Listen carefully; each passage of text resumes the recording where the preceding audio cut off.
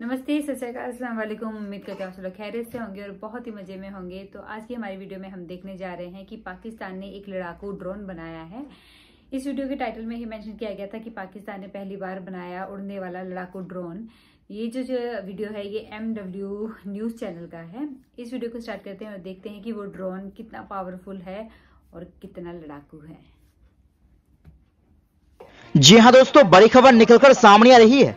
युद्ध के मैदान में ड्रोन की तबाही देख हर देश ड्रोन के क्षेत्र में बढ़ना चाहता है ताकतवर। तुर्की के ड्रोन पूरी दुनिया को कर दिया हैरान। इस बीच पाकिस्तान भी ड्रोन क्षेत्र में की एंट्री, बनाया पहला लड़ाकू ड्रोन। क्या बोले पाकिस्तान? जानेंगे क्या है पूरा मामला। वहीं अगली खबर में आपको बताएँगे, कतर फीफा वर्ल्ड कप के उद्घाटन समारोह के दौरान एर्दोगान और सीसी पहली बार मिले। दशकों से हैं कट्टर दुश्मन। इसी के साथ आपको बताएँगे उत्तर कोरिया ने यूएन महासचिव गुटेरेस को बताया, अमेरिका की कठपुतली, आखिर क्या है वजह? तो दोस्तों, सभी खबरें फटाफट हम आपको कम समय में, आसान भाषा में एक एक करके विस्तार से बताएँगे। तो आप मेरे साथ इस वीडियो के आखिर तक बने रहिए। तो बिना टाइम लेते हुए बात करते हैं खबरों की। जी हाँ दोस्तों, जब से तुर्की के ड्रोन युद्ध के मैदान में जिस तरह से प्रदर्शन किया है, उससे पूरी दुनिया हैरान है। और अब युद्ध में ड्रोन को ही मेन हथियार माना जा रहा है। यही वजह है कि अब हर देश ये कोशिश कर रहे हैं कि उनके पास ज़्यादा से ज़्यादा शक्तिशाली ड्रोन हो। कुछ देश इसे खरीदते हैं तो कुछ देश इसे बनाने की कोशिश करते हैं। ऐसे में कई देश इसमें कामयाब हुए हैं, लेकिन इसमें हर देश कामयाब नहीं हो पाते। इस बीच खबर है कि पाकिस्तान भी लड़ाकू ड्रोन के क्षेत्र में ऊँची छलांग लगाई है। रिपोर्ट्स के मुताबिक लंबे समय से पाकिस्तान के पास ऐसे ड्रोन थे जो सिर्फ़ निगरानी करने के लिए इस्तेमाल होते थे। लेकिन अब पाकिस्तान के हथियार निर्माता कंपनियों ने कराची में जारी हथियारों की प्रदर्शनी में पहली बार ऐसे ड्रोन पेश किए जिनका इस्तेमाल हमला करने के लिए किया जा सकता है। कराची में हथियारों की प्रदर्शनी चार साल बाद हो रही है। और इसमें पाकिस्तान की तीनों सेनाओं के प्रमुख शामिल हुए हैं। 18 नवंबर को शुरू हुए इस प्रदर्शनी में चीन और तुर्की के अलावा और भी कई देशों की कंपनियाँ शामिल हैं। दरअसल पाकिस्तान ने ड्रोन की दुनिया में पहला कदम सर्विस लॉन्च ड्रोन, यानी जासूसी के लिए खुफिया ड्रोन बनाने की शुरुआत के साथ रखा था।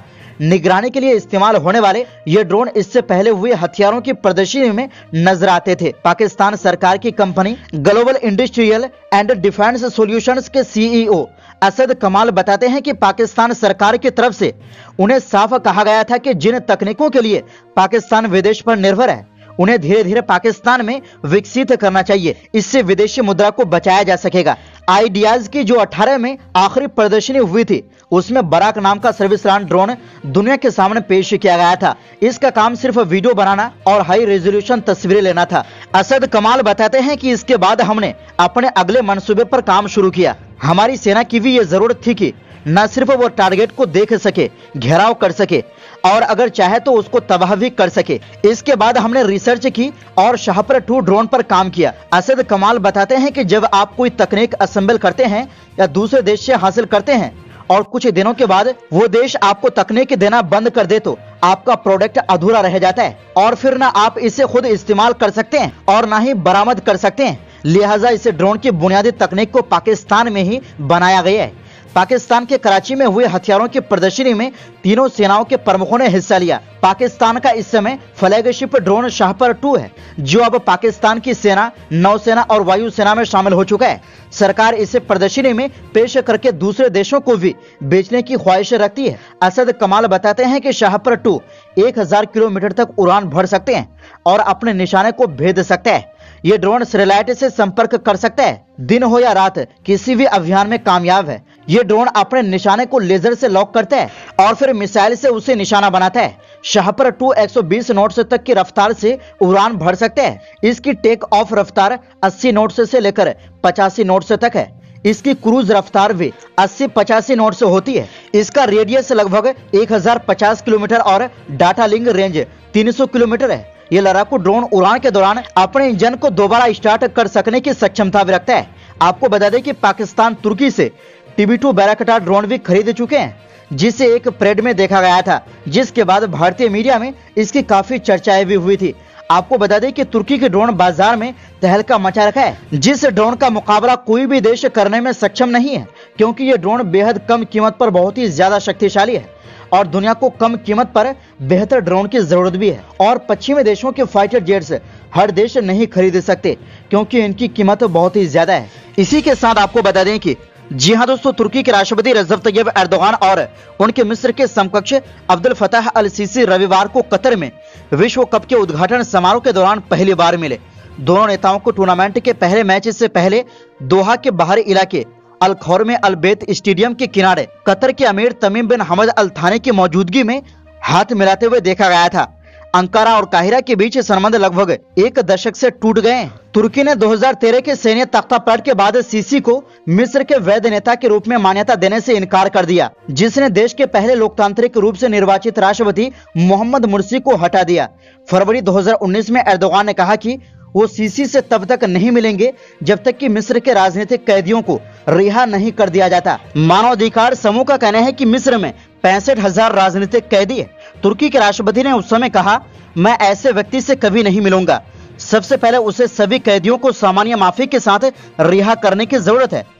जब तक वो उन लोगों को रिहा नहीं करते, हम सीसे से नहीं मिल सकते। मिडिल ईस्ट आई ने इस सप्ताह की शुरुआत में रिपोर्ट दी थी कि एर्दोगान ने संकेत दिया था कि वो अगले साल घरेलू राष्ट्रपति और संसदीय चुनाव के बाद मिस्र और सीरिया के साथ संबंधों को नए सिरे से आरंभ कर सकते हैं। दरअसल, सीसी और एर्दोगान के साथ कतर में उद्घाटन समारोह में मध्य पूर्व के कई नेता उपस्थित थे, जिनमें जॉर्डन के राजा अब्दुल्ला द्वितीय सऊदी अरब के crown prince Mohammed bin Salman, Algeria के राष्ट्रपति अब्दुल मजीद तिब्बोने और फिलिस्तीनी राष्ट्रपति महमूद अब्बास शामिल थे। कभी दोहा के कट्टर दुश्मन रहे मोहम्मद बिन सलमान, जिन्होंने 2017 से 2021 के बीच अपने खारी पड़ोसी देश के आर्थिक और राजनीतिक नाकेबंदी का नेतृत्व किया था। फीफा अध्यक्ष गियानी इन्फेंटिनो के बगल में बैठे मुस्कुराते और ताली बजाते दिखे। सऊदी के वास्तविक शासक को दिन की शुरुआत में कतरी रंग का स्कॉर्फ पहने देखा गया था। मेजबान कतर और इक्वाडोर के बीच उद्घाटन मैच से पहले प्रदर्शन करने वाले सितारों में कतरी गायक दाना और फहद अल कुबैसी के साथ साथ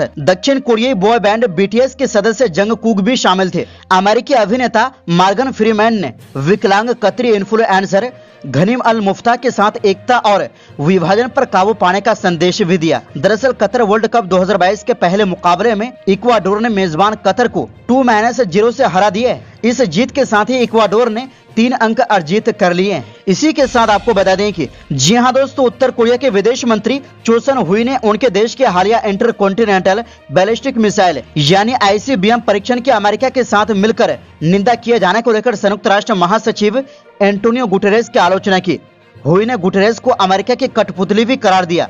गुटेरेस ने शुक्रवार को उत्तर कोरिया के आईसीबीएम परीक्षण की कड़ी निंदा करते हुए एक बयान जारी किया था और उससे किसी भी भड़काऊ कार्रवाई को तुरंत रोकने का अपना आह्वान दोहराया था। उत्तर कोरिया की सरकारी मीडिया ने विदेश मंत्री चोसन हुई के हवाले से एक बयान में कहा, मैं अक्सर संयुक्त राष्ट्र महासचिव को अमेरिका के व्हाइट हाउस या विदेश मंत्रालय का एक सदस्य पाता हूँ। उन्होंने कहा, इस तथ्य पर अपना गहरा खेद व्यक्त करता हूँ कि संयुक्त राष्ट्र महासचिव ने संयुक्त राष्ट्र चार्टर के उद्देश्य एवं सिद्धांतों और सभी मामलों में निष्पक्षता एवं समानता बनाए रखने के अपने उचित मिशन को दरकिनार करते हुए बेहद निंदनीय रवैया अपनाया है। हुई ने आरोप लगाया कि गुटरेस ने संयुक्त राष्ट्र सुरक्षा परिषद में उत्तर कोरिया के आईसीबीएम परीक्षण की निंदा करते समय अमेरिका और उसके सहयोगियों की कार्रवाई को नजरअंदाज किया। उन्होंने कहा, यह स्पष्ट रूप से दर्शाता है कि वो अमेरिका की कठपुतली है। संयुक्त राष्ट्र सुरक्षा परिषद ने जापान के अनुरोध पर उत्तर कोरिया के आईसीबीएम परीक्षण पर सोमवार सुबह एक इमरजेंसी बैठक बुलाई है। हालाँकि अभी ये साफ़ नहीं है कि इस बैठक में उत्तर कोरिया पर नए आर्थिक प्रतिबंध लगाने का फैसला किया जा सकता है या नहीं, क्योंकि परिषद के अस्थायी सदस्य चीन और रूस ने अमेरिका व उसके सहयोगियों के बैलिस्टिक मिसाइलों के परीक्षणों को लेकर उत्तर कोरिया पर प्रतिबंध लगाने का इस साल की शुरुआत में कड़ा विरोध किया था। जी सेवन समूह के सदस्य देशों के शीर्ष राजनयिकों ने रविवार को एक संयुक्त तो बयान जारी कर उत्तर कोरिया मिसाइल परीक्षण के जवाब में संयुक्त राष्ट्र सुरक्षा परिषद द्वारा करे कदम उठाने का आह्वान किया था। तो दोस्तों, इस पूरी रिपोर्ट के बारे में आपकी क्या राय है? अपनी राय कमेंट बॉक्स में ज़रूर दें। इस वीडियो में बस इतना ही। हर देश, हर मुल्क हमेशा यही चाहता है कि उसके पास में सारे एडवांस इक्विपमेंट्स हों, सारे आर्म्स हों, ताकि अगर कभी भी कोई हमला हो जाता है तो वो एटलीस्ट अपनी जनता को, अपने देश को, अपने मुल्क को प्रोटेक्ट कर सके। और यही वो मोमेंट्स हैं जिनके बाद में जिनको देखने के बाद में वहाँ के सिटीजन्स अपने आप को बहुत ही ज़्यादा सेफ़ और प्रोटेक्टेड फील करते हैं। वो वाकई सोचते हैं कि उनकी जो कंट्री है उनके लिए कुछ कर रही है और बहुत प्राउड मोमेंट्स होते हैं ये जब। जैसे कि आई एन विक्रांत देखा था जब आई एन विक्रांत लॉन्च हुआ था बहुत ही खुशी हुई थी देखकर। तो मैं कहूँगी कि ऐसे ही चाहे वो कोई भी देश हो जब उनके देश में कोई नई चीज़ इंट्रोड्यूस होती है तो उन लोगों को भी वही प्राउड फील होता है कि वाकई उनकी गवर्नमेंट उनकी प्रोटेक्शन के लिए कुछ कर रही है। अदरवाइज़ हमेशा वैसे तो सिटीजन्स जो होते हैं, वो हमेशा कंप्लेंट करते ही रहते हैं कि हमारी गवर्नमेंट हमारे लिए क्या ही कर रही है, कुछ नहीं कर रही। हम लोग जैसे पहले थे, वैसे ही आज हैं। कुछ डेवलपमेंट नहीं हुआ। लेकिन गवर्नमेंट्स कभी खाली नहीं बैठती हैं, वो कुछ ना कुछ करती ही रहती हैं। जो कि देश की बेहतरी के लिए हमेशा ज़रूरी होता है। लेकिन एक चीज़ और है, यहाँ पे मैं बोलूँ, जैसे कभी भी हम बोलते हैं ना कि हमारा मुल्क सबसे आगे है और वो तो क्या ही कर सकते हैं तो कभी हमें ऐसा नहीं सोचना चाहिए, कभी भी किसी दूसरी कंट्री को हल्के में नहीं लेना चाहिए। अगर हम लोग बोलें कि हमारी कंट्री हमारी जो गवर्नमेंट है, वो बहुत कुछ कर रही है या बहुत एडवांस इक्विपमेंट या आर्म्स अरेंज कर रही है तो दूसरी कंट्री भी ऑब्वियसली अपनी प्रोटेक्शन के लिए कर ही रही होगी। तो इसीलिए सारी कंट्री जो होती हैं, हमेशा बहुत ही दूर की सोच के चलती हैं कि उनकी बेहतरी के लिए क्या अच्छा है और वो सब कुछ अरेंज करती हैं। तो इस टाइम पे मैं कहूँगी कि पाकिस्तानी को भी बहुत ही ज़्यादा प्राउड फील हुआ होगा जब उन्होंने देखा होगा कि जो उनके यहाँ पर लड़ाकू ड्रोन लॉन्च हुआ है। तो आज की वीडियो को यहीं ख़त्म करते हैं। अगर आपको वीडियो पसंद आया तो लाइक शेयर एंड कॉमेंट कर दीजिए। अगर मेरे चैनल पर नए हैं तो सब्सक्राइब कर दीजिएगा। बाय